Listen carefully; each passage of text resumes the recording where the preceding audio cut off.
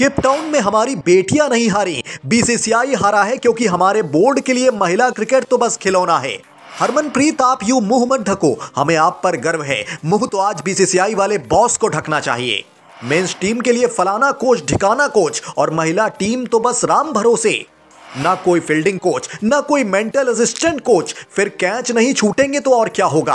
आँसू भरी आँखें, चेहरा हथेलियों से छिपा हुआ। जाना पहचाना हट ब्रेक फाइनल का सपना टूटने पर वही निराश चेहरे, एक रनआउट जो जीवन भर परेशान करेगा।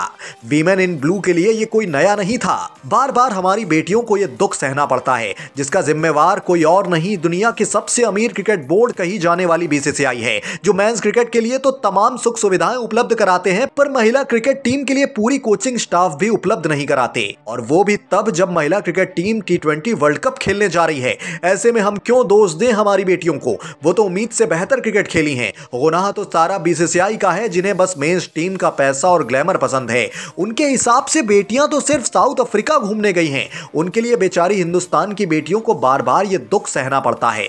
इससे पहले 2017 के 50 ओवर के विश्व कप के फाइनल में जगह बनाई, जहाँ वो इंग्लैंड के खिलाफ हार गए। एक साल बाद वो कैरेबियन में टी वर्ल्ड कप के सेमीफाइनल में इंग्लैंड से हार गए। दो साल बाद टी वर्ल्ड कप के फाइनल में मेलबर्न में ऑस्ट्रेलिया से, पिछले साल जैसे ही राष्ट्रमंडल खेलों में क्रिकेट की वापसी हुई, हमारी बेटियों के बर्मिंघम में फाइनल में ऑस्ट्रेलिया से हराकर रजत पदक पर ही संतुष्ट होना पड़ा। और अब ये केप टाउन, जहाँ सेमीफाइनल में ऑस्ट्रेलिया से पाँच रन से हार का सामना करना पड़ा। केपटाउन में हार की सबसे बड़ी वजह बनी खराब फील्डिंग छूटे हुए कैच खराब क्षेत्र रक्षण, तालमेल का अभाव। अगर भारतीय टीम ने अपनी फील्डिंग में बेहतर प्रदर्शन किया होता तो कल कंगारुओं को 120 रन बनाने के भी लाले पड़ जाते। फील्डिंग में खराब प्रदर्शन के कारण ही ऑस्ट्रेलिया 170 के पार जा पहुँची। भारत को खराब फील्डिंग की वजह से एक दो नहीं बल्कि पूरे 70 रनों का नुकसान हुआ। मैच में सबसे ज़्यादा रन बनाने वाली मुनी और लेनिंग को सस्ते में आउट करने का कई बार मौका मिला, पर भारतीय टीम ने उन तमाम मौकों को गवा दिया। इसके अलावा फील्डिंग में भी फंबल के कारण बीस से पच्चीस रन अतिरिक्त बन गए। हालाँकि इसके लिए दोष हमारी बेटियों का नहीं था। यह सारी गलती बीसीसीआई की थी और महिला क्रिकेट में पावर हाउस बनने की ख्वाहिश रखने वाली बीसीसीआई को इस हार से शर्म आनी चाहिए। आखिर हम ऐसा क्यों कह रहे हैं? इसकी वजह भी आपको बता देते हैं। पिछले साल दिसंबर में जब टूर्नामेंट के लिए सिर्फ़ दो महीने बचे थे, बीसीसीआई ने महिला टीम के सपोर्टिंग स्टाफ में फेरबदल करने का फैसला ले लिया। रमेश पवार, जो 2021 के मुख्य कोच थे, उन्हें एनसीए भेज दिया जाता है। ऋषिकेश कनिटकर, जो बल्लेबाजी सलाहकार के रूप में सीनियर महिला टीम के साथ पुरुषों की अंडर 90 और ए टीमों को संभाल रहे थे, उन्हें टी वर्ल्ड कप के लिए टीम का असिस्टेंट कोच बनाया गया। उनकी सहायता करने के लिए बीसीसीआई के पास सिर्फ़ ट्रॉय कुली थे।